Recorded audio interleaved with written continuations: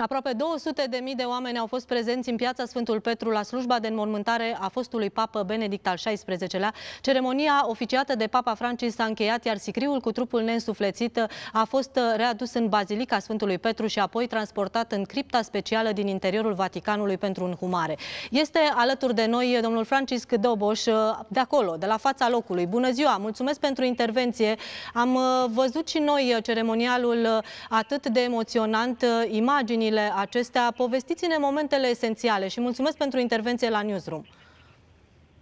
Uh, bună ziua, bun găsit! Au fost atât de mulți oameni care s-au uh, recules și dincolo de doliu sau de momentul de tristețe, pentru că e vorba de o, de o înmormântare, a fost momentul de, de recunoștință, de rugăciune, aplauzele care au intercalat.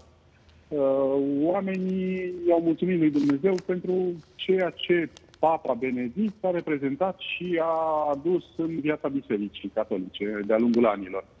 Dumnezeu te iubesc, sunt ultimele cuvinte, așa a reieșit uh, din informațiile care au apărut uh, în presă, spuse de o asistentă care a fost alături de Papa Benedict. Uh, domnule Doboș, ce urmează acum? Pentru că sunt mulți care au spus sunt părintele că... Francis Doboș. Da, Părintele Francis Doboș, mulțumesc pentru intervenție. Da. Asta voiam să vă întreb. Ce urmează acum pentru lumea catolică? Pentru că sunt mulți care au spus că poate fi și un alt început pentru Papa Francisc.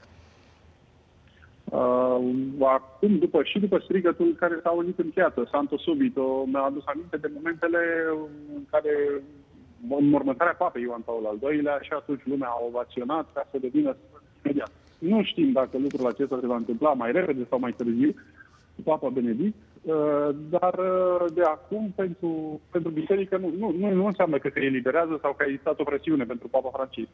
Dar mă pun în situația Papei Francis gândindu-mă că și el era în vârstă, se simte acum uh, toată presiunea sănătății, destul de șubrede și pentru Papa Francis, poate să devină momentul pe care l-a anticipat și el, când, din motive de sănătate, se va retrage. Nu trebuie să, să nu trebuie să, să scoatem din scenariu și, acest, uh, și această ipoteză.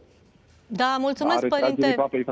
Da, a fost uh, ipoteza luată în discuție în ultimul interviu din iulie. Spunea părintele Papa Francis că deocamdată nu se gândește la acest lucru. și continuă turneele de acum încolo. Mulțumesc pentru intervenție, părinte Francisc Doboș.